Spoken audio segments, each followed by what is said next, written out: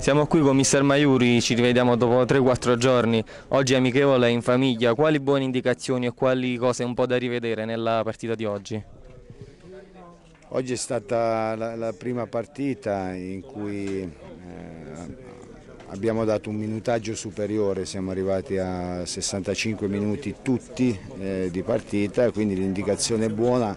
sulla durata della partita è che comunque la squadra ha mantenuto compattezza, tutte e due le squadre una discreta compattezza in campo per cui vuol dire questo che la condizione ora è una condizione che ci permette di giocare qualcosa in meno di 65 minuti, perlomeno un tempo e, e, e 10 minuti certamente. Eh, venivamo da un carico di forza fatto stamattina eh, considerevole, per cui eh, bene la compattezza, bene alcune giocate offensive, eh, nella ricerca dello scarico veloce per l'attacco della profondità, eh, da rivedere magari le scelte forzando la giocata, da rivedere delle uscite difensive eh, reparto più reparto più reparto, però il tempo eh, ci permetterà volta a volta di identificare eh, magari le cose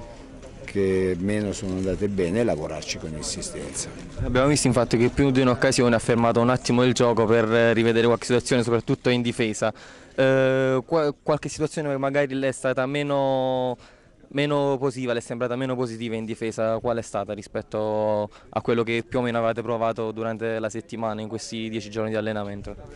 Sì, eh, ci sono state delle mm, letture sbagliate eh, sugli esterni difensivi in ambedue le squadre e ci sarà da lavorare sull'intenzione di giocata degli avversari eh, ma il tempo comunque gioca in nostro favore perché potremo correggere queste situazioni lavorando.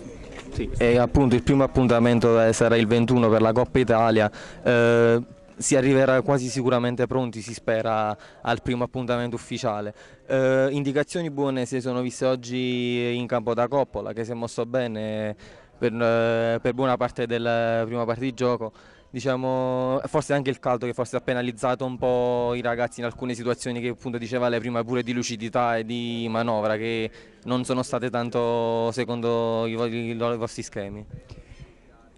Caldo certamente, un lavoro di forza notevolissimo eh, fatto stamattina e, e, comunque una condizione precaria del momento, eh, però la ricerca c'è stata e questo l'ho apprezzato. Eh, è chiaro che non basta la ricerca, ci vuole il movimento giusto anche nel tempo giusto e quindi insomma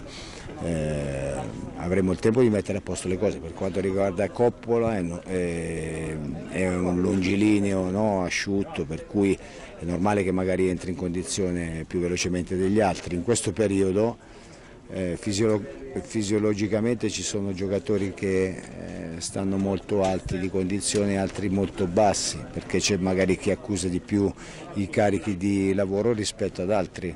ma è sempre stato così, probabilmente quello che sta molto più su tra una settimana sarà sprofondato giù e si sarà alzato quell'altro, è così per noi e così per tutti in questo momento, eh, però eh, ripeto da domani eh, riprenderemo a lavorare con enorme intensità perché il nostro obiettivo è quello eh, di presentarci alla prima partita di, di campionato con, con, la condizione migliore possibile. L'altra volta parlavamo della sua intensità eh, che dà ai calciatori, oggi su alcuni interventi sia a centrocampo che in difesa abbiamo visto che c'è già una buona dose di cattiveria agonistica, vuol dire che stanno apprendendo bene diciamo, quello che è la mentalità Maiuri, la mentalità del mister, quella di essere sempre già pronti e preparati già da adesso adesso in forma campionato diciamo. Io penso che nel calcio a parità eh, di qualità, a parità di organizzazione, eh, vince la partita e porti tre punti a casa e l'obiettivo a casa chi è più cattivo, chi ha più fame dentro. Siccome eh, si parla di un gruppo di giocatori, no, la cattiveria è abbastanza genetica eh, però più giocatori trasmettono ad altri questa fame eh, di vittoria, questa voglia di arrivare ai tre punti, magari è più facile arrivarci. Ecco, per me questa deve essere una cosa, eh, ecco, qui non dobbiamo tradire mai. Dobbiamo avere fame, la dobbiamo mettere nel campo, dobbiamo essere squadra, dobbiamo avere aggressività dentro perché eh, siamo la Nocerina e la Nocerina, eh, ahimè, per fortuna e non purtroppo, perché sennò non, non avrebbe avuto questa storia. No? Necessita di, di, interpreti nel campo che abbiano fame, che abbiano voglia, abbiano spirito, abbiano veramente tutte queste caratteristiche che non devono mai mancare. A proposito appunto di fame, di tre punti e di vittorie da conquistare sul campo, dove pensa eh, preferisce oppure comunque pensa sia più facile prendergli questi tre punti, visto che si parla tanto dei due gironi in cui potrebbe essere collocata martedì la Nocerina, nel girone H o nel girone I, quale pensa sia più facile sia logisticamente che pure a livello di squadre e a livello di raggiungimento dell'obiettivo? Logisticamente il più semplice è il girone H per quanto riguarda le trasferte, no? la, la, la, possibilità di, di,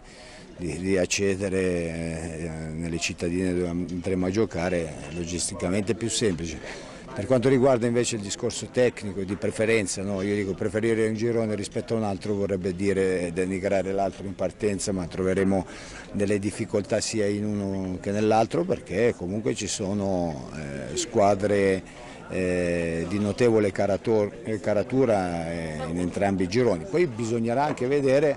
eh, come verranno messe le campane insieme, se nel girone I oppure nel girone H, però io obiettivamente ho tante cose a cui pensare che se dovessi pensare anche a questa cosa probabilmente questa bella testa lucida che ho qualche giorno va, va a scoppiare, quindi mi interessa pensare al campo dove ci mette il Signore, tanto sappiamo quello che dobbiamo fare, o nel girone I o nel girone H. Grazie mister.